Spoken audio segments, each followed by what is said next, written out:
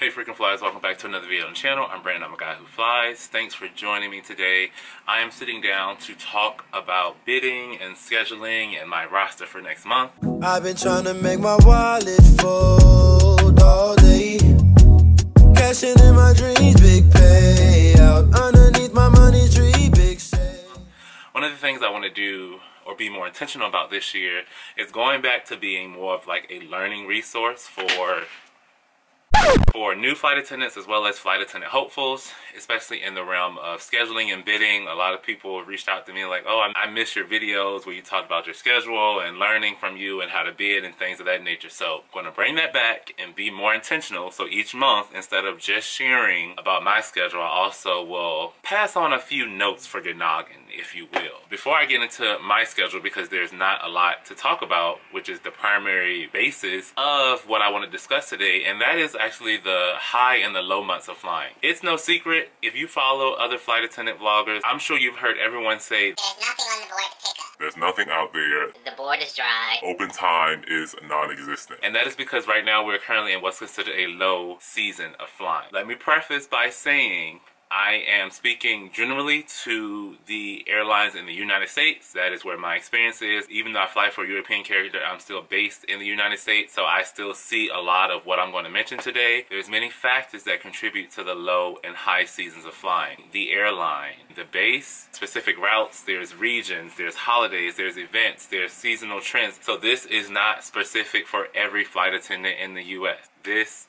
will vary. Let's start off with the high months. These are the months that you will be busy. You will make money. You will have hours. The summer season is peak season in the aviation industry. So June, July, and August. Like many industries, the aviation industry follows the actual school system. So the school system kind of dictates a lot of what happens. So June, July, August, many people are taking vacations during the summer months. There's a lot of increased leisure travel. Lots of airlines make the bulk of their money in these three months, June, July, and August. It's, kids are out of school, families plan to take their vacations. You can go anywhere you want to go, specifically those of us situated in the United States because at that those months, the Northern Hemisphere, we're experiencing summer. So it's hot everywhere. You go to Seattle, it's warm. You go to Boston, it's warm. You go to Texas, it's very hot. You go to Florida, forget about it. Those summer months of June, July, and August are going to be the top of the peak season. Also included in the peak season or high month of flying is going to be December. Holiday season. People travel for the holidays, and this includes Christmas, this includes New Year's. Some of Thanksgiving, but not as much as people travel for that time between Christmas and New Year's, especially when a lot of corporations give their employees maybe the week off. You all know a lot of schools are off for like a two, two and a half week time span. So there's a lot of leisure travel that also happens during that time. March and April, spring break. Most colleges and universities tend to have their spring break in March. Most public schools tend to have their spring break in April. People having time off leads to increased leisure travel, leads to more demand for the airline. So you'll see a lot of spring break traffic, which is why I meant certain regions and certain routes. So you don't see people flying to Montana for spring break. They're going to go south. They're going to go to the sun and sand destinations. They're going to Cancun. They're going to Cabo. They're going to Jamaica. They're going to Puerto Rico. They're going to Dominican Republic. They're going to be traveling to the Caribbean, Miami, all of those places to escape the colder weather for a little bit of warmth.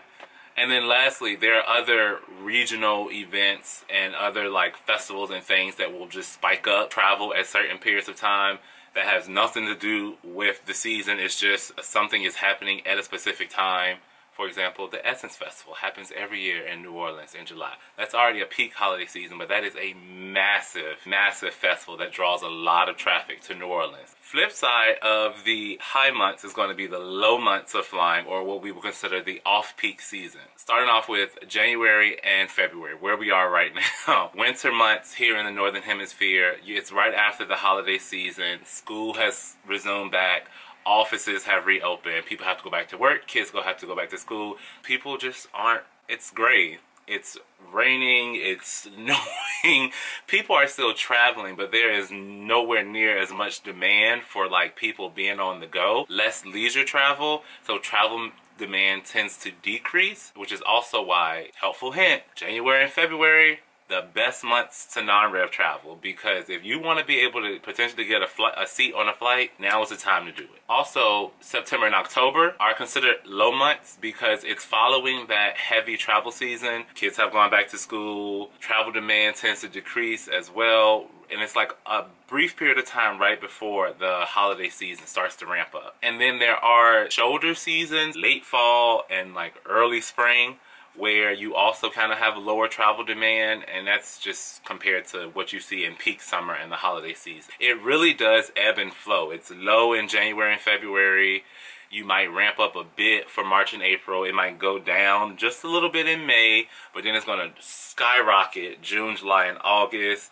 Then it's going to dip a little bit um September and October, ramp up a little bit in November, ramp up more in December, and then the cycle starts back over again. You also have to acknowledge that these trends in flying vary based on other factors like weather, economic condition, airline promotion, competition, and global events, i.e. pandemics. And then as I mentioned earlier, there are going to be certain routes and destinations that might never see the high and low. Additionally, certain routes and destinations may have their own high and low seasons that are influenced by other factors that are just kind of specific to that region.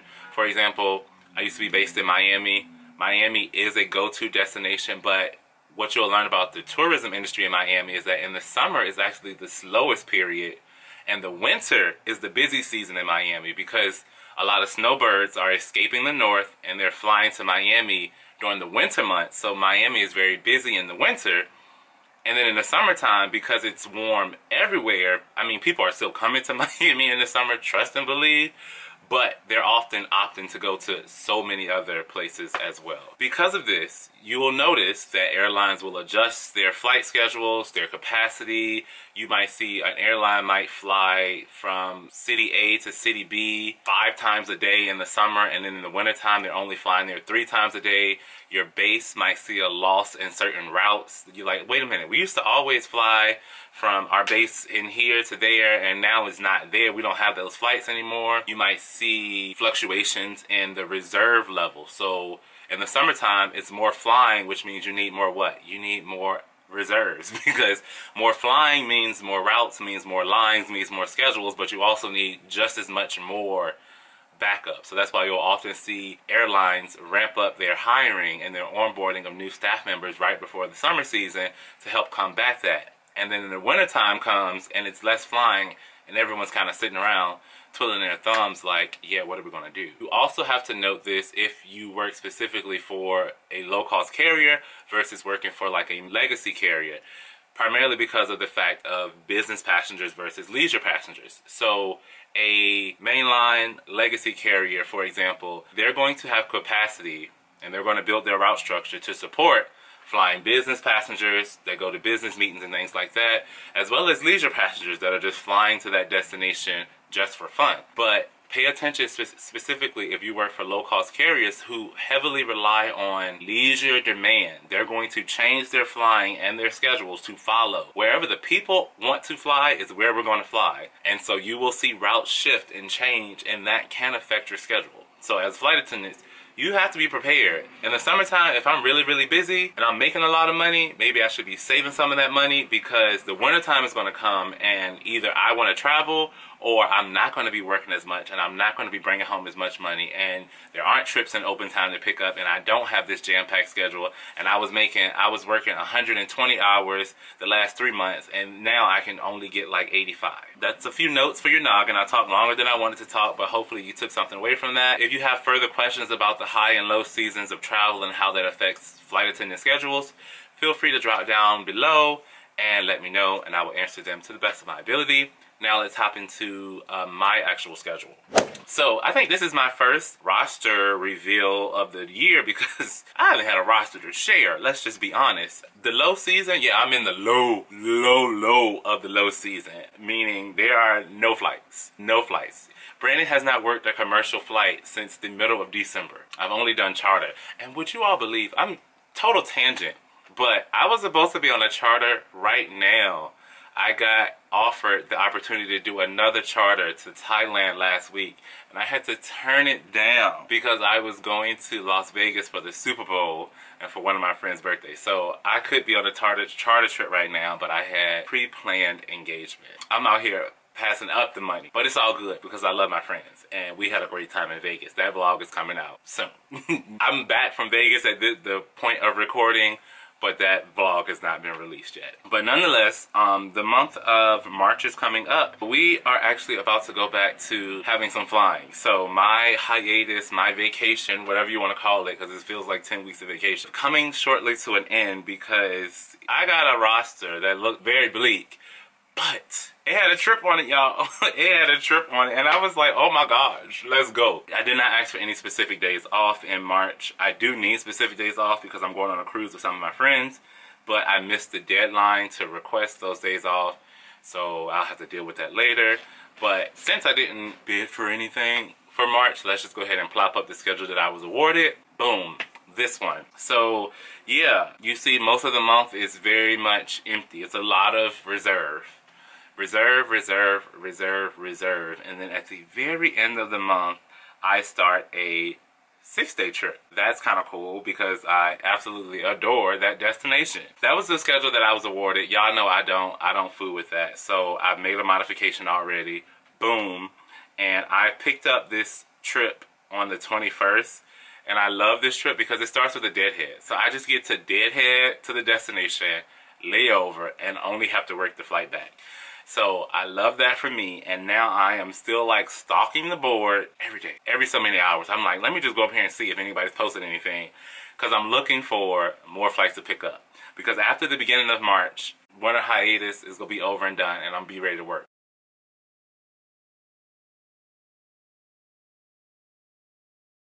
I'm gonna be looking for some more trips to pick up. But for right now, y'all, we just have a three-day trip and a six-day trip. And my six-day trip is actually a carryover into August. I mean, August, Jesus. My six-day trip is actually a carryover into April. So I don't even get to see that pay with May. It's, I mean, with what is going on? I don't even get to see that pay with March because it's a carryover. It starts in March, finishes in April, so I only get paid for the portion that is in the month. So yeah, I need to pick up like one, maybe two more trips in March. If I can finagle something, that is that. It's a slow period of flying right now, but your boy is going back. If you made it this far in the video and you are happy to hear that I'm going back to commercial flying, give me a thumbs up. If you are sad that I'm going back to commercial and there might not be any more charters for a while, give me a thumbs up for that as well. Or give me a hot and a cold emoji for the highs and the lows of the flying seasons in aviation. I'm Brandon, I'm a guy who flies, and I will see you all the next time.